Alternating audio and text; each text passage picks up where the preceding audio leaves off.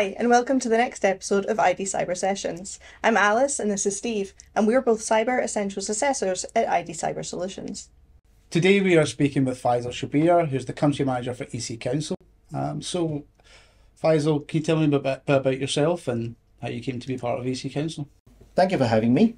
Um, I've, uh, again, my industry goes back, uh, my experience goes back around 22 years uh, specifically in the information security background. Uh, so accidentally, I got onto the cybersecurity background. Um, I come from a finance and a logistics industry, uh, thinking that logistics is going to be the industry I'm going to get into, and I was all that excited. And I, in fact, did my master's in in uh, in operations management as well. And then, you know, all of a sudden, it just happened. Uh, you know, where I was working for a, a distribution house, specifically dealing in cybersecurity solutions that is when the interest uh, sort of you know created on there. And then um, i got an opportunity working for the distributor uh, looking after their kaspersky business which then uh, took me on to uh, the vendor themselves kaspersky where i was looking after their channel business for middle east and, uh, and the africa region.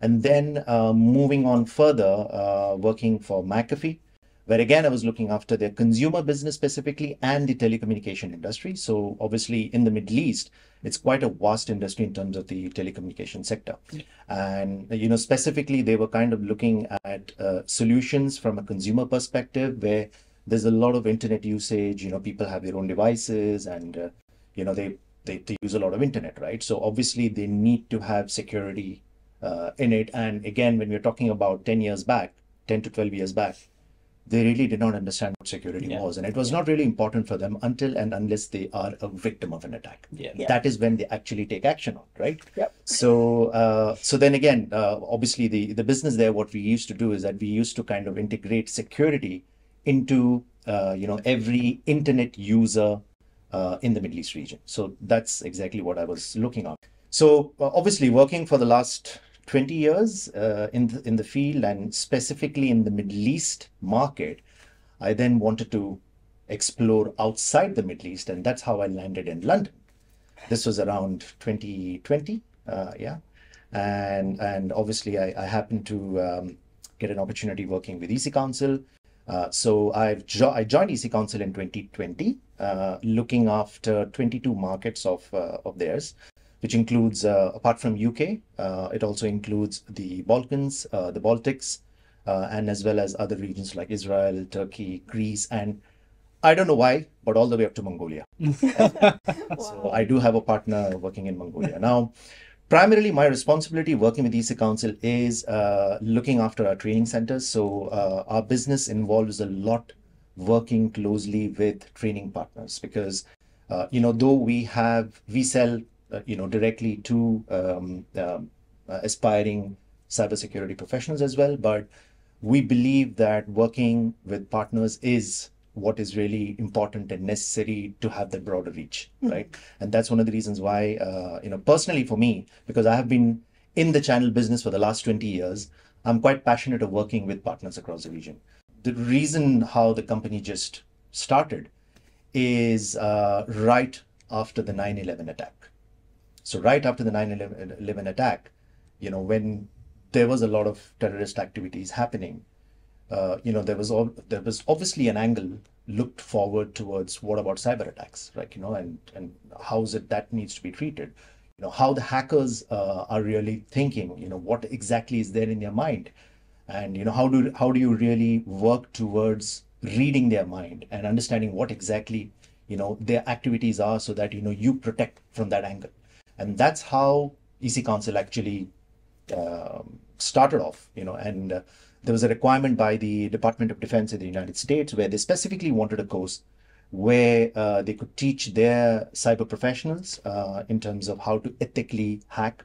Uh, and that's how the CEH, that is our most popular uh, certificate, which is a certified ethical hacker, was born. Uh, apart from that, um, uh, you know, we have our own uh, phishing simulation and security platform as well, where we specifically look at the compliance needs of organizations uh, across uh, across the region. And uh, recently, I would say around two to three years back, is where we um, um, developed our own cyber range platform. And one of the reasons why we we developed our own cyber range platform is that we thought that since the last 20 years of training people in the field of cybersecurity, you know, we obviously wanted to look at a way of how we can move to the next level, because just theoretical learning is uh, is not important. You obviously you need to have a lot of uh, labs in it, and uh, you know you need to uh, have a lot of hands-on experience in it, and that's where CyberQ came into existence. So you just briefly uh, mentioned obviously the learning track. Um, so where do we start um, with that learning track? Um, I know there's some basic qualifications, but I know you've got some free courses as well. Sure, sure, sure. So uh, when you talk about free, uh, you know, uh, what we are trying to focus on are those students um, or those professionals who are very new in the field right now let's say for example if they're university students they've just come out of a university or they're high school students for example right now they once they have finished their studies off they've completed them you know they are not in a position to really afford um, certifications which are a little bit more pricey right and that's one of the reasons why we've designed courses where we can specifically uh, introduce the world of cybersecurity for these professionals. And the best part, obviously, what we've done is that we've completely made that free. So we have, so when you start as part of the learning track, it starts first with the essential series, where the essentials series is is uh, divided into three different, uh, let's say, uh, knowledge bases. Mm. So you have uh, the ethical hacking essentials, you have the network defense essentials, and you have the digital forensic essentials. Right now, by the word of each of them, you can understand that there are three different areas of study or three different areas of knowledge. Now, for example, if it's a student who is into network defense, not necessary that he's going to become an ethical hacker tomorrow, right? And that's one of the reasons why we've introduced these three uh, courses. And again, when you talk about essential series, they are all video-led courses. So you have course content which is around 11 to 15 hours uh, approximately self-paced learning where students can take their own time to uh, learn through all the materials. They are all fundamentals for anyone who wants to get into in the industry. And yes, and let's say that if they want to upgrade to attempting an exam, you know, they want to get certified, uh, you know, they want to, let's say, get a little bit of hands-on knowledge as well, that is when they pay a small fee. But otherwise, the courseware, um, you know, the entire video enabled courses, they are all completely free. And obviously, one of the courses that you offer is the CCT or the Certified Cybersecurity Technician, which I just took myself um, in February. Could you tell us a bit more about that one? Now, once we move on from the Essential series, that is when our first entry level course starts, which is the CCT, uh, the Certified Cybersecurity Technician. Uh, and again, the Certified Cybersecurity Technician, again, is an entry level course specifically designed for those professionals who learn a bit about ethical hacking, who learn a bit about network defense, digital forensics, and security operations, or you would call it more from uh, incident handling perspective. Now that's an entry into the field, right? So that's where uh, you know entry level professionals uh, they get onto the industry uh, trying to sort of look at jobs where they become security assessors, you know, where they help in assessments, for example, right? So that's our entry towards uh, the field of cybersecurity courses. And then once uh, once that's done, once they are certified with CCT, that's when they decide the, the, the four different, um, I would say, domains in cybersecurity they get into. The first one obviously starts first with CH, which is the most popular course, as I mentioned. And then uh, you have the CND, which is a certified network defense. So CH is a red team course. We call it more of an offensive kind of a course, whereas CND is more of a defensive course. We call it a blue team uh, course uh, out here. Now, when you when when when you talk about four domains, the four domains I'm talking about, the first one, which is the offensive side, which is in vulnerability assessment, the second one, which is blue, which is network defense. Then you have purple, which is the incident handling. And then the last one, green, which is application security. Mm-hmm. Now, the reason why it has been, um, let's say, diversified is because uh, a lot of people, when they uh, when, when they enter into the industry and when they see cybersecurity as a career, right? Uh, a lot of them have this confusion that okay, what is it that I'm going to get into, right? Because it's such a vast field. When they say cybersecurity, they just think about you know, uh, hacking and they think about, you know, how to protect from hacking, how to protect from attacks. Uh, but then the field is so vast so that every professional, when they get onto this industry, that is when they decide that, okay, what is it that exactly I want to get into? Now, there are a lot of professionals who think that, okay, uh, you know, maybe they have this in their blood that, okay, I like to protect people from crime or I like to protect people from attacks, right? So then they move on to, uh, for example, the network defense side of it where uh, they learn a lot about um, incident handling. They learn a lot about SOC analyst as well, because a lot of these multinational, multiple organizations, big enterprises, they have their own security operations center, Yeah. right, which is 24 7 running. Now they need people to run that center, right? And that's where the SOC analyst part of it uh, comes as, a, as a course. So you have professionals, you know, who think that, okay, defending is what I like right? So that's the area where I want to get into, right? So if, when you talk about that, you talk about threat intelligence, you talk about incident handling, you talk about network defense, you talk about SOC analyst, right? Even to a certain perspective, uh, you know, critical infrastructure organizations, right? Today we've been hearing a lot of attacks happening specifically in critical infrastructure. And now, let's say uh, what's happening with the Russia-Ukraine war, right? A lot of Ukrainian critical infrastructure organizations energy companies they have been a victim of a cyber attack right there are even now as we speak a lot of uh, uh, you know across the city when you talk about the, the main city kiev they're out of electricity Yeah. uh, there are certain hours where they get uh, a bit of electricity otherwise they're out right Mhm. that's because it has been severely devastated and again there, there has been a lot of emphasis towards that right recently there has been an attack with uh, the company dole d-o-l-e Yeah. which is a, Mhm. a, a very big food uh, you know food distribution house Mhm. and probably you must have read that in the news again that is into critical infrastructure because they have to you know have the distribution running for um, food uh, you know across uh, across the world right? And they were a victim of a cyber attack recently.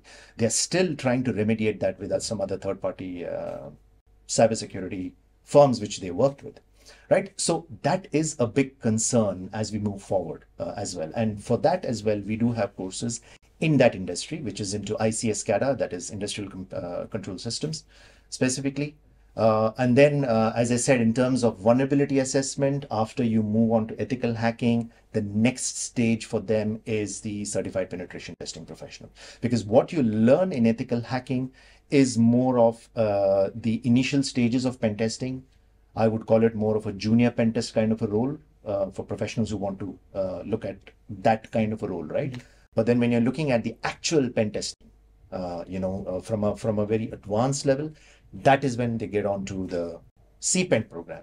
So the CPENT program is designed in such a way that just the exam is a 24 hours exam. Now, you know, don't let's not get scared there that you have to sit for the entire 24 hours Yeah. just to do your exam. But obviously, the exam is split as 12 hours and 12 hours, where they have certain modules to cover that, and then at the end of the exam, they have to uh, they have to submit a report, a penetration testing report, which then allows them to get certified as a certified penetration testing professional, right? So that's more on the uh, more on the offensive side, and then when you talk about um, application security, we have programs in the uh, software development, uh, secure software development uh, area as well, which is called ECDE, and that specifically talks about how to securely develop software in the entire software development lifecycle, right? So we call it something called shift left, where right from the initial stages of developing software, you're trying to put a security layer there.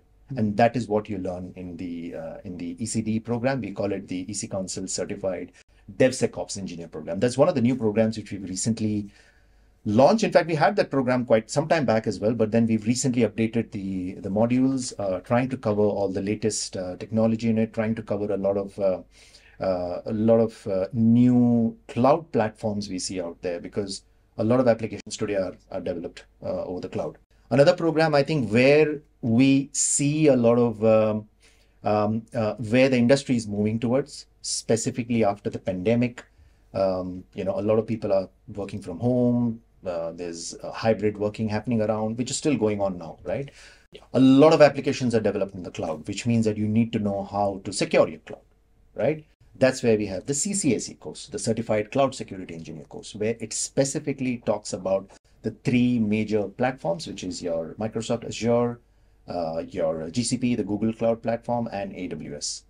So everything to do with security configurations um, in these three platforms is what uh, students learn in candidates learn in the CCSE program, along with uh, application security in the cloud, pen testing in the cloud. Uh, even when you're talking about the legality, uh, compliance uh, area, the risk factor uh, in, in, in, in the cloud environment, that's exactly what you learn in the CCSE program. So once that's all done, as a career track or as a learning track, the last certification what we have in that track is the chief information certified chief information security officer.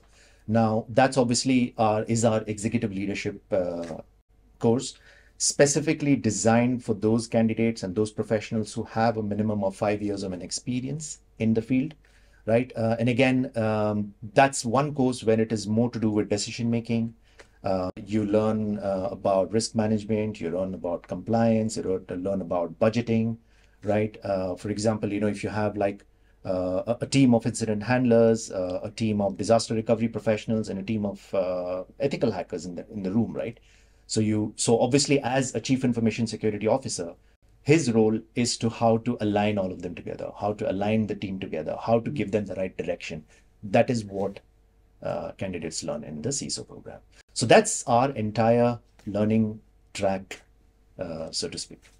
And obviously, like so, at ID Cyber, we offer quite a few of those courses. Um, Right. Another course that you um, uh, uh, that maybe you could provide some more details on would be the incident handler course. Right. Um, is there anything you can? Who is that aimed at? Obviously, that's kind of blue team and Yeah. So uh, yeah, so incident handling course again is uh, is is quite a popular course as well in our uh, in our entire learning track, right? And what students actually learn here is the entire, let's say, the the steps involved in your incident handling, uh, which is you know right from uh, looking at the uh, option of where the attack has happened, you know how do you uh, how do you uh, you know look at areas in terms of from a so uh, it's it's probably a stage where after the SOC analyst has done his role of identifying the different kind of threats, what he sees in the organization, he then hands it over across to the incident handler. And then incident handler obviously looks at areas of how do you remediate that? What are the steps involved so that tomorrow when an attack happens, you know, we are prepared. Right? That's exactly what you learn. It's a very important role if you talk from an industry, from an organization perspective, because uh, you need to have um, you know all the kind of knowledge involved in terms of designing the right kind of incident handling report uh, looking at disaster recovery uh, areas uh, business con- continuity areas as well right? So that is all comprising uh, towards what a candidate learns in the incident handling uh, program because it's just not an, atta- an attack happening right? It should be like an attack happens and everyone is like head, running around like headless chickens. That should not be the concern right? The area here is that when because no matter how many you know no matter how you protect your security infrastructure or you have you know you, secure your infrastructure right?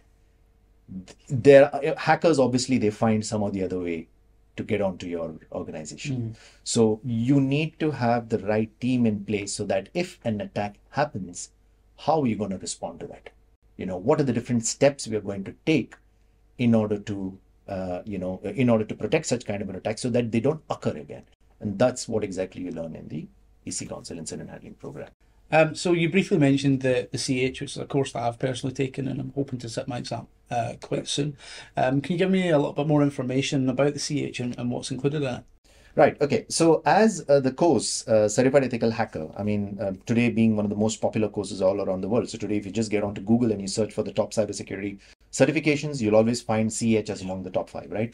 Now, what we've done recently, especially after the launch of version 12 just last year in, in September, we have changed the entire perspective of the course, right? So, some a a while back, uh, the course only included uh, the courseware, a bit of hands-on learning, uh, as well with the labs, and then you have the uh, exams, uh, you know, and, and you're done with it, right? But what we uh, understood, and specifically after talking to a lot of um, ethical hackers uh, who've already completed the certifications, is they always wanted to have a continuous learning element in it, Mm. right? And that's what we've changed in the version 12 because version 12 is designed with uh, we call it the four learning framework. So you have the uh, the learn, you have the certify, you have engage, and you have compete, right? So learn obviously is you are learning about the latest technology in ethical hacking. Uh, you're using the latest uh, OS, the operating systems in it. You're learning about edge computing, learning about grid computing, and a lot of other new technology. What's there in place, right? So that's the learning part of the framework. Then you have certify, obviously, because you are getting certified uh, under the ANSI accredited uh, certification, which is the American National Standard Institute um, certification, right? So that's that makes it internationally recognized, right? Now, when it comes to certify, it is just not the theoretical exam uh, you work on. So theoretical exam is basically, um, you know, a four hours of 125 multiple choice questions you have. Uh, but then you also have the practical exam in it, which consists of 20 challenges. They are not multiple choice, they are actual challenges which uh, candidates have to attempt on, and you're given six hours to complete that, right? Now, the beauty behind this is that you don't get just one certificate, you get two certificates. So when you when you finish your theoretical exam, you get the certified ethical hacker certificate. But once you complete your practical exam, you then get the CEH master certificate mm. right? So that's your second framework, which is certified. The third framework and the fourth framework are the latest frameworks which we've just introduced in the new version.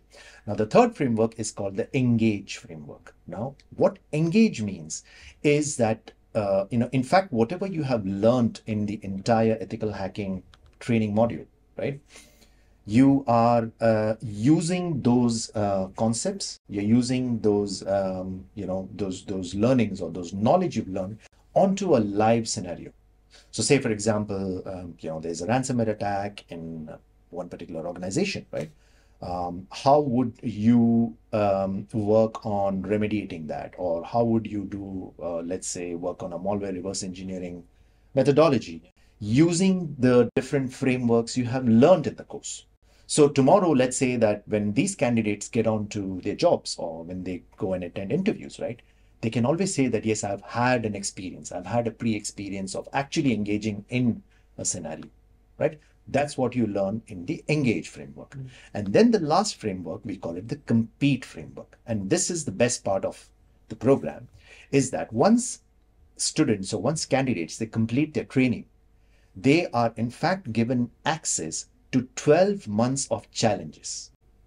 Every month, there is a new challenge, right? So, for example, the month of uh, Feb, we have a ransomware attack challenge. For the month of, uh, let's say, April, we might have malware reverse engineering, or there are multiple topics. And these challenges are from a global level. Mm-hmm. So, what happens is that every ethical hacker, uh, they have to go and attempt that challenge. And obviously, you know the amount of time they take in and uh, the way how they have attempted that challenge their name as well appears in something we call it the global ethical hacking leaderboard. Now that's from a global level right?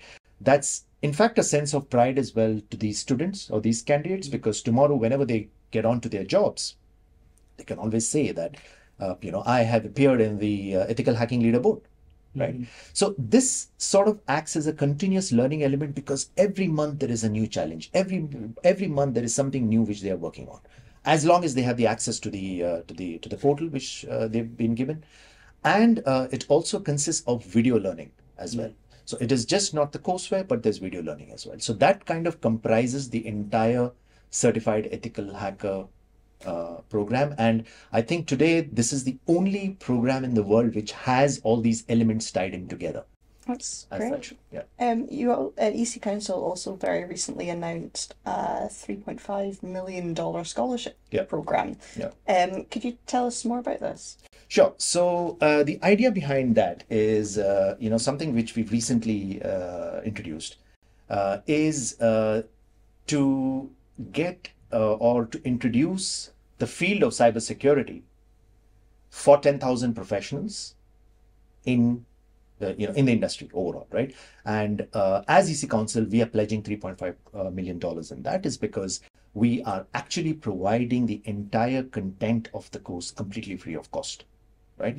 And again, the reason behind this is you know we and then trying to match to our, our mission which is trying to mitigate cyber attacks that is what we are working towards so the idea here is the more amount of people the more amount of professionals getting onto the industry learning about cybersecurity you know and then looking at their career from you know from an advanced perspective towards where they want to head off right?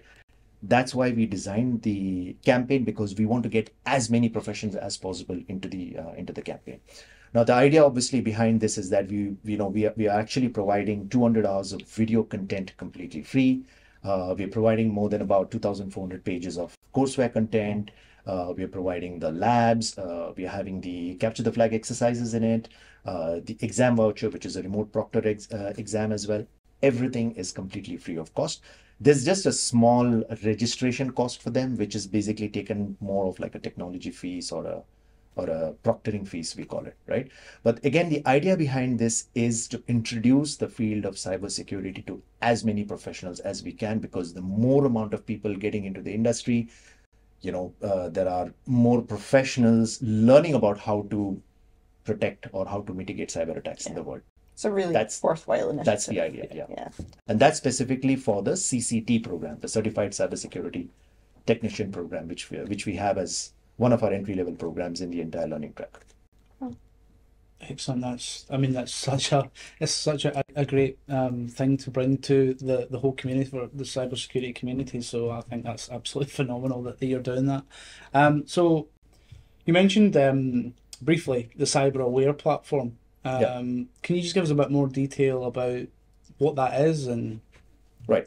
you know, Right. So, um, in any organization, right, um, when you talk about uh, the the kind of attacks happening around, right, we hear a lot about social engineering. We hear a lot about phishing attacks. More than ninety percent of attacks, what we hear today, are related to social engineering attacks, right? Humans are the human in any organization, as as all of us, right? They are the biggest factor. I mean, no matter how many um, you have, you have one of the strongest uh, security infrastructure in place, right?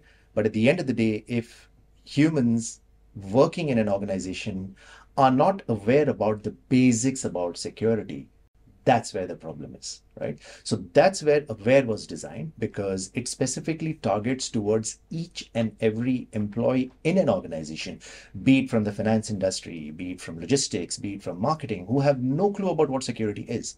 But they need to understand what are the kind of emails they are clicking in, you know, uh, how to uh, ensure that they are actually, uh, you know, opening the right link or they're clicking on the right link, whether uh, you know, the, whether the email uh, address where it comes from um, is that genuine, right? Because we've heard a lot about attacks happening where uh, a lot of financial losses happen because they happen to just click on a wrong uh, link and information has just gone across to the hackers and they just stole, you know, millions and millions of dollars. I'll give you an example.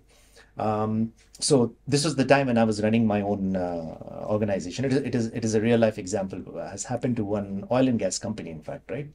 And uh, they they again happened to get an email from um, you know some unknown source, uh, but then uh, obviously the email said uh, that uh, you know we've changed our account details because they actually wanted to impersonate as their supplier right? So they've just sent them an email saying that we've just changed our bank account details. These are the correct bank account details. So, you know, based on this particular invoice, please transfer your money here. And they literally did that. It was $250,000, you know. Obviously, I don't want to name the company, Yeah. but uh, that's that's a lot. yeah. They did that and, uh, you know, obviously it, it went into the wrong hands. And literally, uh, you know, the cybersecurity uh, you know, law enforcement body in that particular country, they couldn't do anything about it, right? Hmm. It is a big concern. Now, if obviously they had the right control in place, if uh, the, the, the person who was actually transferred that money or clicked on that link was aware that the email address where it came from, you know, there was something missing, hmm. they could have saved that, right? Hmm. So this this is where Aware is born. So Aware technically what it does is that it is a platform which uh, runs phishing simulation campaigns for employees in the organization, right? Now, uh, obviously, let's say if, there, if it's an organization of thousand employees, right? So all these thousand employees are sent phishing phishing emails, which is which could be anything. It could be, let's say, change your password. It could be something coming from Microsoft. It could be something internally, right? And let's say that if they happen to click on the email, that is when the management gets a report stating that out of 1000 employees these many employees are not compliant because they clicked on the wrong email right? So department wise um, there is um, reports being designed and sent across to the management stating that you know this department these many employees are not compliant these many employees are compliant you know. So that's pretty good and that's important for an organization from a compliance perspective and uh, you know tomorrow when um, organizations are moving into the ISO standards if they want to have their ISO 27001 in place, right?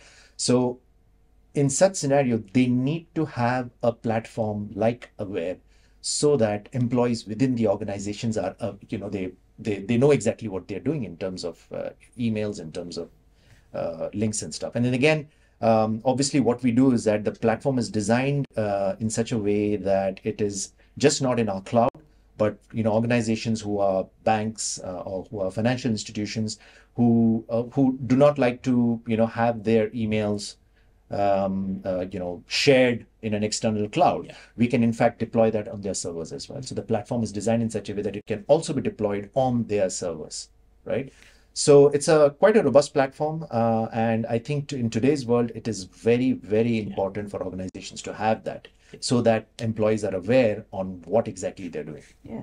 It saves a lot of money. Yeah. And that's what exactly the web platform is about. Yeah, so it's all about education yeah. in, in this kind of changing environment. Which actually brings me really nicely onto my next question, which is how do you see cybersecurity changing in the next five years? Oh, I think quite a lot. Quite a lot. I mean, again, we've seen that, right? Since the last few years, we have seen how, uh, you know, cybersecurity as an industry has been evolving right? And we've seen a big push, especially when the pandemic happened, because right after the pandemic, we've seen a lot of attacks happening because obviously, you know, people working from home, uh, you know, having hybrid work environment, which means they are accessing applications over the cloud. Uh, you know, you may never know how secure those are, right? And because of that, we've seen a lot of attacks happening as well. So when you move forward, let's say next five years, it is estimated that cybersecurity as an industry is going to hit $300 billion. This I'm talking about is around by 2027, right? Even if you go further, which is about 2030, is going to hit $500 billion. That's the forecast. That's the estimate we look at it, right? Now, what is what is it that it's leading to that sort of a level, right? You're talking about, uh, you know, innovative uh, technologies in the field of cybersecurity. For example, a lot of organizations now are going to rely on AI and ML based uh, solutions, right? Uh, artificial intelligence and machine learning based detection technologies. That is what is important. And a lot of organizations are going to move towards that. Uh, what's important is the talent pool, right? That's the industry we are in, right? There is still a huge gap right? As of last year, I think it was around $2.3 million, uh, sorry, 2.3 million professionals, which mm-hmm. is um, that, that's the gap we see globally, right? Obviously, that's coming down a bit now, but still there is a huge, huge gap, right? I was in one of the events uh, recently, and I think just in UK, uh, there is a requirement for around 200,000 professionals just across UK. That's that's a gap we look at, right? So so what we see in the next five years is that there is a requirement of professionals in the field. There is a requirement of cybersecurity professionals out there trying to uh, protect companies from attacks, right? So that's where that's where the industry is going towards. Even um, you know, I think organizations should be aware uh, in terms of the ransomware attacks which is happening. That's becoming quite evident now as well, which means that incident handlers need to be well prepared, yeah, right in advance. You know how to mitigate such kind of attacks. You know what is it that they have to look into. So that's probably another area. Uh, you know we're we're looking at, but as I said, overall, it is evolving. You know, it is yeah. growing uh, all across. Uh, supply chain attacks. We've seen the SolarWinds attack, which happened uh, quite quite a while back, right? So uh, again, obviously, organizations have to look towards uh, you know how to uh, how to you know protect their organizations from such kind of attacks happening, trying to share information with third-party organizations, right? So I think this is this is something where the world is uh, is moving forward. Uh, the, the place is uh, it's a bit crazy at the moment as all The the different attacks that are happening. There's so many. It's hard to keep track of, of all of them, and yeah. you know it comes down to phishing, etc. But if you were to give one piece of advice to someone who wants to be more their, their company to be more cybersecurity aware, or some one thing that they could do, what would you would you suggest that was? I think I would I would I would uh, stick on to uh, probably um, uh, you know two points of mine, and I think that's something which is very important first, as I said, um, having um, you know innovative technologies in cybersecurity itself, because today you see a lot of vendors come up out there, right? Sometimes whenever, whenever you just get into, let's say, an infosec um, exhibition, you're you're actually confused Mm. because there are so many vendors out there having their own set of solutions. But I think what's important is, as I said rightly, uh, trying to look at uh, solutions uh, which obviously have uh, a bit of AI and a bit of ML in it, so that uh, you know they are aware right before an attack happens in terms of you know having from a threat intelligence perspective. That's important. So to have such kind of solutions in place, to obviously to have the right team. Mm. That's very important because sometimes what happens is that a lot of organizations they rely on third-party uh, organizations. You know they they probably rely a lot on managed service providers. And I'm not saying managed service providers is uh, is wrong. Yes, definitely that's that's what they're there for, right? But uh, you know, it's always important to have uh, an internal, uh, you know, an internal head in the house as well who understands what cybersecurity is, who understands what incident handling is, who understands what ethical hacking is, what pen testing is, for example, right? So it's always important to have a proper pool of people within organizations, properly trained, properly certified. They know exactly what they're doing, right? So I think that's exactly what is important, right? Because again, as as I said, as the industry is growing, the kind of attacks as well are growing right? You have to ensure that you have the right people in place. You have to ensure that you have the right uh, infrastructure in place. I think these are the two key main areas which is important, and probably that would be my advice. And if there was uh, one book or blog or podcast or actually even a person that's had a big impact on you and that you'd like to recommend our viewers uh, check out, what would that be? Right. Uh, I have two. Okay. Uh, again, they're not cybersecurity uh, you know, from the cybersecurity field. But I think that sort of um, helped me in, uh, you know, in, in, sort of a direction in my own life as well.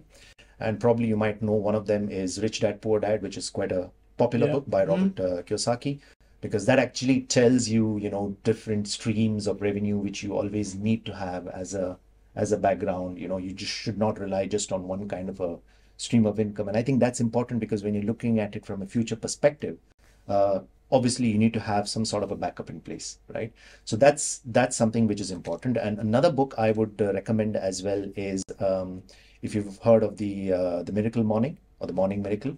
So uh, there's a it's written by uh, an author called hal elrod right? And um, again this is something which personally i was not following a lot earlier. But obviously after reading the book uh, you know it kind of teaches you towards your perspective. So when you get up in the morning, what's your perspective? What are you planning to do? Where you're going to think about in the next five years, for example? Where do you have to go? Because that's every day in the morning when you get up, you need to have that focus in your head, right? And that's what the Miracle Morning book talks about.